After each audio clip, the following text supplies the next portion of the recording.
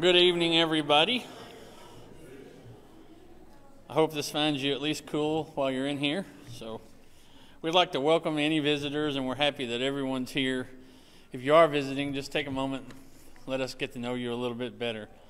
Announcements for tonight is please continue to pray for those who are continually struggling with cancer and other health issues. A list of names to pray for is in our bulletin. Uh, Roger Moore's liver condition, liver cirrhosis, has worsened, and he has an upcoming appointment with specialists. He came home from the hospital on Thursday. Please keep him in your prayers. Fern Colburn fell and broke her arm. No surgery and no cast, but will continue to wear a splint and return in three weeks for another x ray to see how it is healing. Please continue to pray for her. Miss Dorothy Jones ask for prayers for her health. Suzanne Byford has COVID. Please pray for a smooth recovery. Jonna and Tyler Long will be hosting a youth devo at their house this Friday night at 6:30 p.m. More details to come. The teen room needs a new couch. If you have one you're wanting to part with or would be willing to donate money towards a new one, please see Tyler Long. We'll be having a baby shower for Jonna Long next Sunday, July 24th at 4 p.m. Jonna is having a baby girl and is registered at babylist.com. Attention all widows and widowers. We would like to honor you on Sunday, July 31st at 5:30 p.m. The youth will be cooking and serving you a meal. Please use the sign-up sheet in the foyer to let us know how much to cook. Please allow us to this opportunity to serve you. July 31st will be our fifth Sunday contribution. This will go directly toward our building fund and help pay on our loan. The Longs will be hosting a water party that will be geared towards the junior youth on Saturday, August 6th at 4 p.m. We will have sprinklers, water, guns, water balloons, kiddie pools, and more. If you have any of the above things and would like to let them let, let us use them, uh, for the event, let Tyler know. Tyler asked that you bring your own water. You know how he is. So we will be taking a youth group to the Christ Quest Youth Rally in Mountain Home, August 5th through 7th. We will be leaving Friday afternoon and getting back mid-afternoon on Sunday. Housing will be provided. All the kids will need to do, besides bringing what they pack, is money for four meals. Please let me know, which I'm assuming is probably Tyler or Chase, and not me. Don't let me know. So let Jamie know. It's just like working for the military, you know, it's been detected. Please let me know this please let Jamie know this Friday as soon as your teen plans to attend as well as their shirt size. If finances are an issue, please don't hesitate to reach out. With that being said, if any church members want to donate money towards expenses for this trip, please contact Jamie. The Wallaces are starting a food drive for the backpack program and for and food bank of NEA. There's a list of needs on the on the bin in the foyer. If you are interested in donating food, please check that out. Serving tonight, opening prayer is Bill Ballard, song leader Jackson Ballard, devotional Will Ballard, closing prayer, Mike Frazier.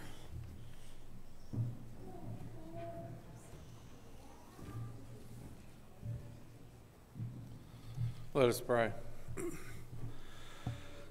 Dear Heavenly Father, we thank you for this day. We thank you that we were able to come here tonight and we will sing songs of praise unto you and hear a lesson from thy word. Dear Lord, we're so thankful for all the many blessings you give us and our health and our good jobs and the homes that we live in. Dear Lord, at this time we'd like to say a special prayer for those that are sick and especially Roger Moore as he's going through his illness and and Fern Colburn with her broke arm and any others that were mentioned, dear Lord. Just restore them to their health if it be thy will. And please bless the hands that are ministering unto them. Dear Lord, we ask that the things we do here tonight will be done in a manner be well pleasing to thee. And Lord, we ask that you be with the speaker of the hour and help him have a ready recollection of the message he wants to present. And dear Lord, as we go out to the world the rest of the week, help us to be a shining light for you. And dear Lord, when we fall short, we ask you please forgive us. And it's your Son's name we pray. Amen.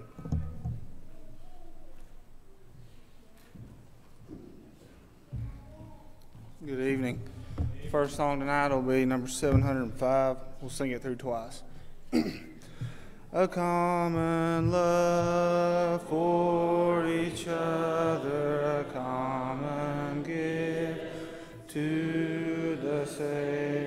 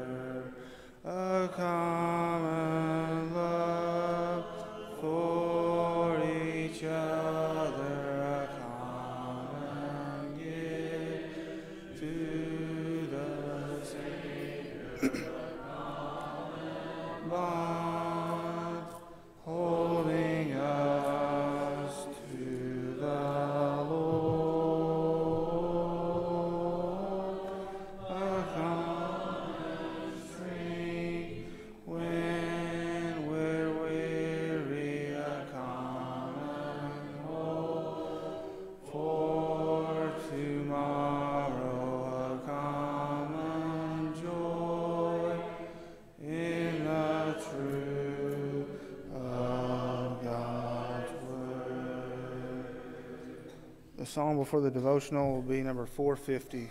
Sing the first and third verse. Give me the Bible, star of gladness gleaming, to cheer the wanderer,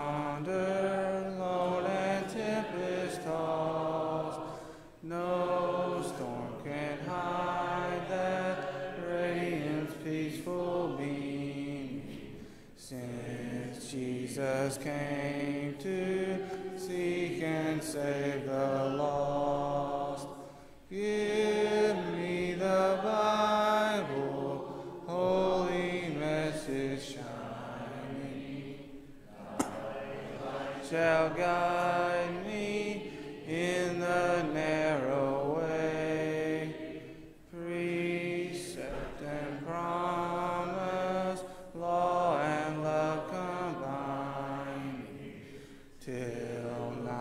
shall vanish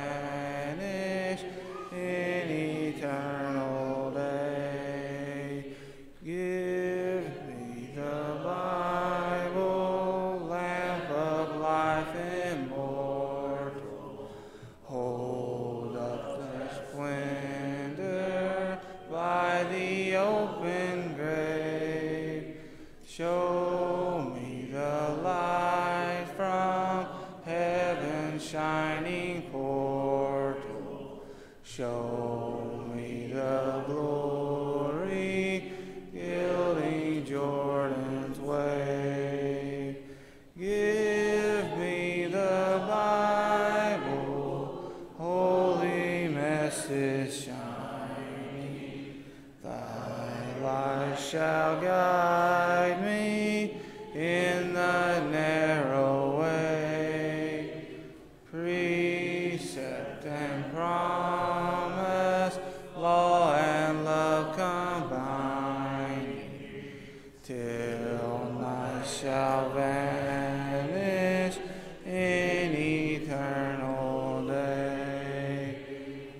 song after the lesson will be 902, the first and last verse.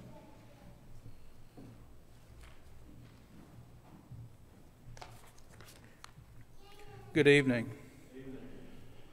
So, as y'all can see on the title on the board there, the lesson is going to kind of be around David and Goliath tonight. Um, as I was kind of thinking about what I want to talk about tonight, I, I kept coming across the ideas of struggles in life. I know we all have them, whether they be in your Christian walk, whether they be dealing with things in your life such as finances, death, just however small or however how big they may be. but also know that we are supposed to put God in the center of our lives to help us get through those struggles. So I want to read a few verses from David and Goliath. I won't read the whole story just for time's sake, but as we go through this, I want all of us to think about something as we ask yourself this question What is your own personal Goliath? No matter how big or how small it is, just answer that to yourself. What is something you struggle with and battle with each and every day? But turn with me to 1 Samuel 17, and we're going to be reading verses 38 through 49.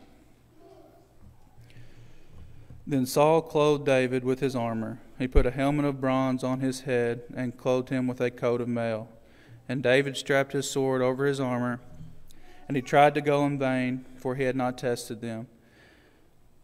Then David said to Saul, I cannot go with these, for I have not tested them. So David put them off. Then he took his staff in his hand and chose five smooth stones from the brook and put them in the shepherd's pouch. His sling was in his hand, and he approached the Philistine. And the Philistine moved forward, and he came near to David, with his shield bearer in front of him. And when the Philistine looked and saw David, he disdained him, for he was but a youth, ruddy and handsome in appearance. And then the Philistine said to David, Am I a dog that you come to me with sticks? And the Philistine cursed David by his gods. The Philistine said to David, Come to me, and I will give you give your flesh to the birds of the air and the beasts of the field. Then David said to the Philistine, You come with me, you come to me with a sword, with a spear, and with a javelin, but I come to you with the name of, of the Lord of hosts, the God of the armies of Israel, whom you have defied. This day the Lord will deliver you into my hand, and I will strike you down and cut off your head. I will give you the dead bodies of the host of the Philistines this day to the birds of the air and to the wild beasts of the earth, that all the earth may know that there is a God in Israel, and that all this assembly may know that the Lord saves not with sword and spear, for the battle is the Lord's, and he will give you into our hand. When the Philistine arose and came and drew near to meet David, David ran quickly toward the battle line to meet the Philistine.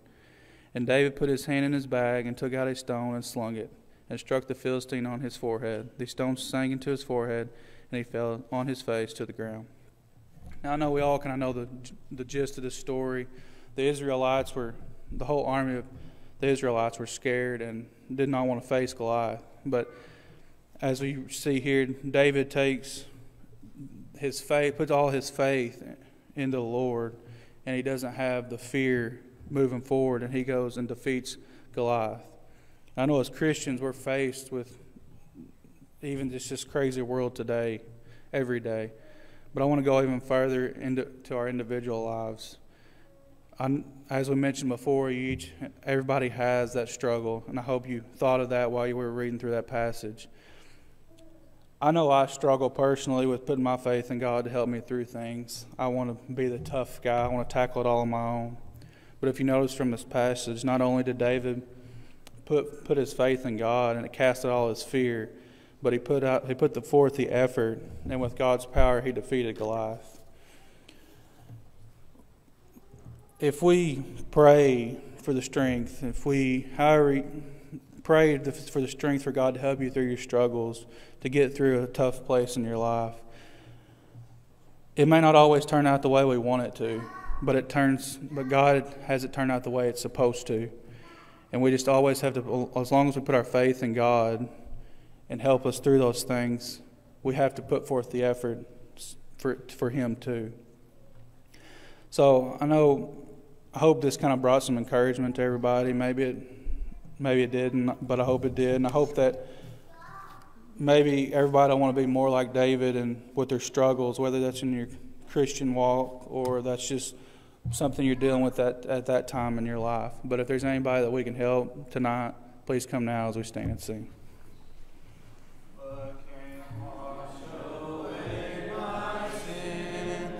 Nothing but the blood of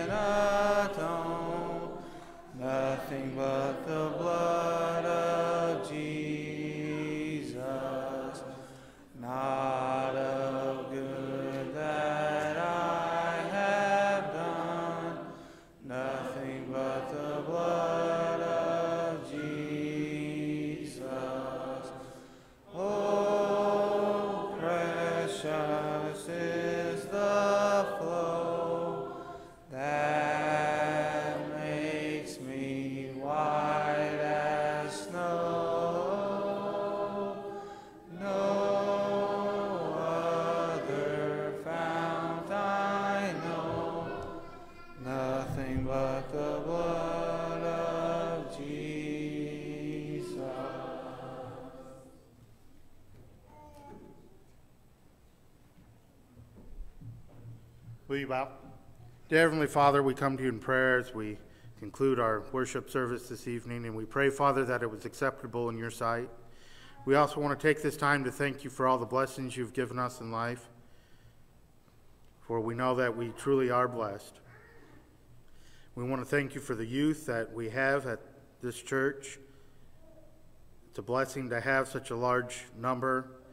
And we pray, Father, that you guide us in raising them up and teaching them in your ways. Continue to be with those who are sick in the congregation. Let them regain their health if it be thy will. Give them comfort during their illnesses. In Jesus' name, amen.